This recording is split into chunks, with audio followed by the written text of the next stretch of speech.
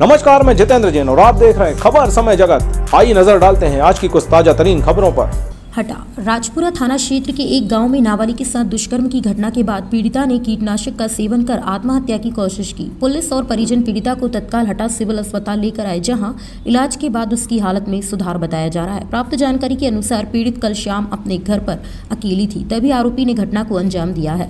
पीड़ित और परिजनों के बयानों के बाद पुलिस ने आरोपी के विरुद्ध दुष्कर्म सहित विभिन्न धाराओं के तहत मामला दर्ज कर लिया है और पुलिस आरोपी की तलाश में जुट गई है।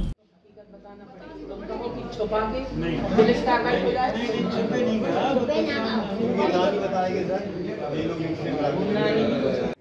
एक रसपुरा क्षेत्र अंतर्गत एक नाबालिग बच्ची के साथ रेप की घटना हुई है।